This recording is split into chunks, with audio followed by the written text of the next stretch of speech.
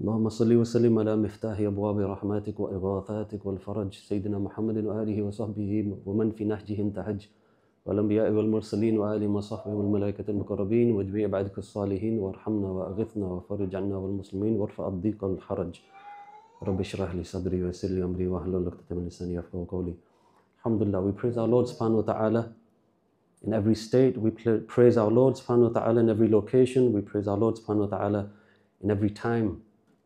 Praise our Lord subhanahu wa ta'ala in every circumstance. Because our Lord subhanahu wa ta'ala is worthy of praise. And we can never do justice to the praise of our Lord subhanahu wa ta'ala, the Lord of all creation. So we pray Him to obey His command for us to pray Him subhanahu wa ta'ala.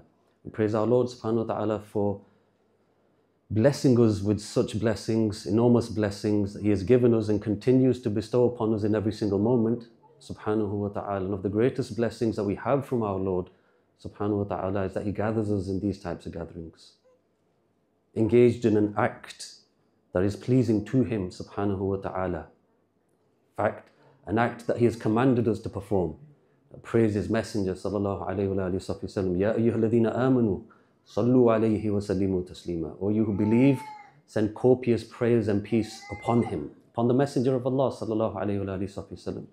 One of the intentions we should have in such gatherings is to obey the command of Allah subhanahu wa ta'ala. Uh, MashaAllah, tabarakallah. Allah subhanahu wa ta'ala tells us himself, Inna Allah wa malaikatahu yusalluna ala nabi. Verily Allah and his angels send prayers upon the Messenger, وسلم, upon the Prophet. And Allah subhanahu wa ta'ala uses the present tense form of the, of the verb yusalluna, which means it's taking place right now. It's taking place in every single moment.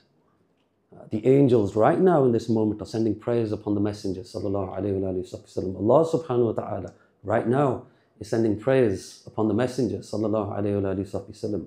So when we start sending prayers and peace upon the Messenger sallallahu all we're doing is joining in something that's already taking place. We're joining in with the angels who are also sending prayers. We're joining in with Allah subhanahu wa ta'ala who's already sending prayers upon His beloved.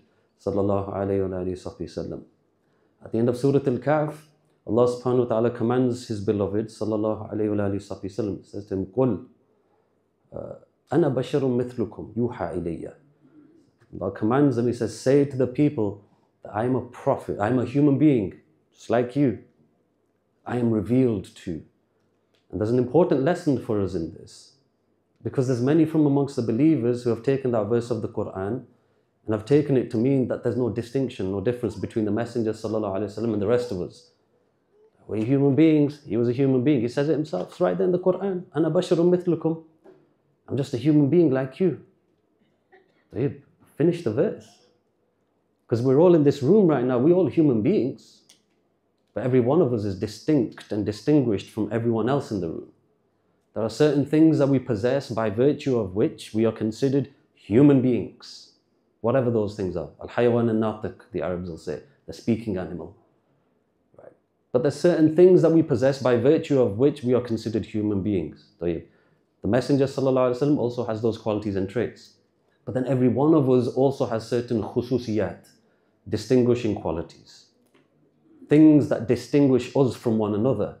Some people are doctors, some people are pilots, some people clean the streets, some people are teachers, some people are students, that's only in relation to headfire. I mean, Like the, the job that a person has. Some people are tall, some people are short, some people have beards, some people don't. Some people have two eyes that work, some people only have one eye that whatever it might be. People possess different qualities by which they are differentiated from everybody else. Beauty in the creation of Allah, that infinite beauty, the infinite variety in the creation of Allah subhanahu wa ta'ala. Likewise the Messenger sallallahu alayhi wa. He's a human being sallallahu alayhi wa. Yes he is, but he's not a human being like the rest of us. Uh, to say that the Messenger sallallahu is just a human being like the rest of us is incorrect. And it's the kind of words, the kind of statement, the kind of utterance that can only come out of a mouth that hasn't looked at the Messenger sallam hasn't read the Quran or understood it, hasn't examined the ahadith, the statements of the Messenger sallam, hasn't looked at the ahadith describing him sallallahu. Because a human being, yes, but utterly unique. Utterly singular, sallallahu. Not like anybody else. Now, who else is Allah subhanahu wa ta'ala tell, tell us that He's sending praise upon? Inna Allah wa malaikatuhu and His angels. Who else does Allah say that about? Anyone? Show of hands, yani, if anyone can. I can't think of anybody else that Allah says that about. Allah Himself sends praise upon the messenger. The angels send praise upon the messenger. Who else does Allah subhanahu wa ta'ala command us to send praise upon? Show of hands? Thought so? Utterly singular, sallallahu alayhi wa sallam. Utterly unique, sallallahu alayhi wa sallam. The hadith of al-Bukhari and Muslim, the Messenger sallallahu alayhi wa sallam said, لا يؤمن أحدكم حتى أكون أحب إليه من ولده ووالده والناس أجمعين. one of you doesn't believe until I am more beloved to him than his children, his parents, and the whole of humanity. Who else has said that about themselves? Who else can say that about themselves? Utterly singular, sallallahu alayhi wa sallam. Utterly unique, sallallahu alayhi wa sallam. Look at the verse in the Quran. Ana basharun mithlukum. I'm a human being like you.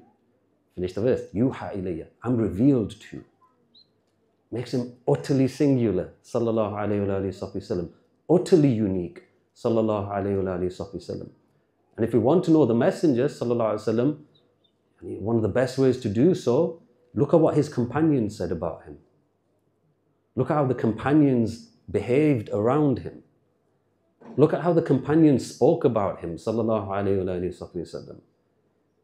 Yani, best of generations, according to Kalam Nubuwah, Prophet ﷺ described them as the best of generations. They are the most beloved to Allah's creation, subhanahu wa ta'ala, after the prophets and the messengers. That's the Sahaba.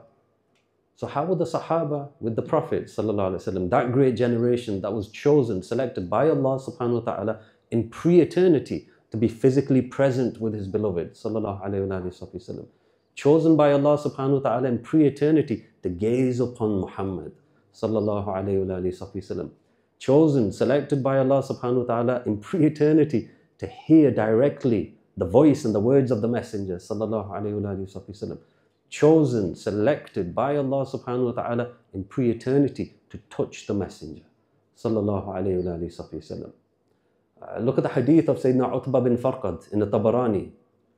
Sayyidina Utbah bin Farqad, Sayyidina Utbah bin Farqad had a beautiful fragrance that used to come off him what we'd call BO, right? His BO was beautiful. Sayyidina Utbah bin Farqad. They say wherever he would walk down the streets, people are, wow, Utbah, mashallah, man smelling fine, yani. Sayyidina Utbah had four wives. And the wives of Sayyidina Utbah bin Farqad used to go to lengths, they used to put on so much perfume. But then one of his wives, Um, um Asim, she said it didn't matter how much perfume we put on, he always smelled better than us. Sayyidina Utbah. So she asked him about it. Now, where's this fragrance come from? How come you smell so beautiful all the time? Sayyidina Utbah says, one time I was sick. I had uh, itchy red spots all over my body. And what happens when you have a sickness? You go see the doctor. So he went to see the doctor. Sallallahu alayhi wa alayhi wa. And the Messenger, sallallahu alayhi wa how did he cure him? He took his blessed hand, sallallahu alayhi wa sallam, and he blew spittle onto it.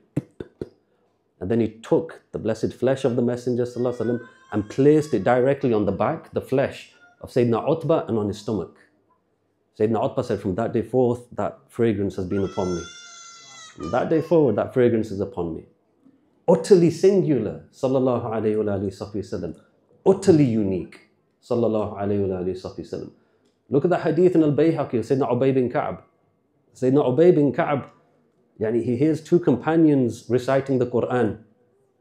This one recites the Quran, this one recites the same passage of the Quran, but recites it differently. Sayyidina Ubay bin Ka'b's like, that's a bit off. Grabs them both, takes them to the Messenger, sallallahu alayhi wa we will get to the bottom of this. The Messenger, sallallahu alayhi wa listens to them, listens to the first of them, listens to the second of them, says, ahsantuma. You've both done beautifully. Sayyidina Ubay bin Ka'b says, when the Prophet said that, doubt entered into my heart. And it was a doubt which was even greater than the doubt I'd had in my times of Jahiliyyah, pre-Islam. I started doubting the Messenger, sallallahu alayhi wa sallam. He doesn't need to say anything.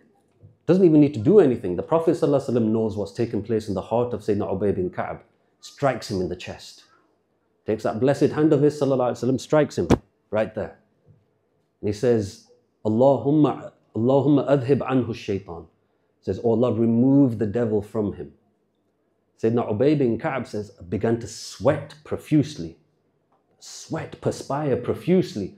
وَكَأَنِّي أَنظُرُ إِلَى اللَّهِ فَرَقًا He says, and it's as if I am gazing upon Allah in terror. That's our messenger, sallallahu alayhi wa sallam. Utterly singular, sallallahu alayhi wa sallam. Utterly unique, sallallahu alayhi wa sallam. Who else can we mention from the whole of Allah's creation about whom Allah subhanahu wa ta'ala says, and who Allah says it directly to, وَمَا كَانَ اللَّهُ لِيُعَذِّبَهُمْ وَأَنْتَ فِيهِمْ That Allah will not punish them whilst you are amongst them.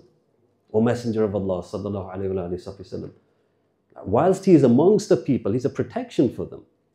Those disbelievers. That's our Messenger sallallahu alayhi wa sallam. And this is why the Sahaba are so, yani, so beautiful as a generation.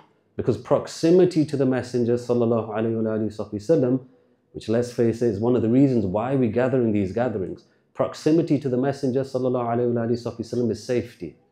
Proximity to the Messenger wa is security. Proximity to the Messenger wa is salvation. That's why we praise him wa to fulfill the command of our Lord, yes, subhanahu wa ta'ala, but also to draw closer to his beloved wa. Because proximity to his beloved is proximity to Allah's mercy. The Messenger sallallahu alayhi wa sallam is the gateway to Allah's mercy. And if we love the Messenger, وسلم, which is a bold claim, that's a big thing to say. And it's not something we should say just yani. Because ask any believer, ask any Muslim, yes, I love the Prophet, وسلم, but our actions have to back that up. Our actions have to back up that statement. as they say in uh, legal circles, right? Extraordinary uh, accusations require extraordinary proof. Right? That claim, I love Muhammad sallallahu alaihi wasallam, that's a big claim. It's an extraordinary claim, and it requires extraordinary proof and verification.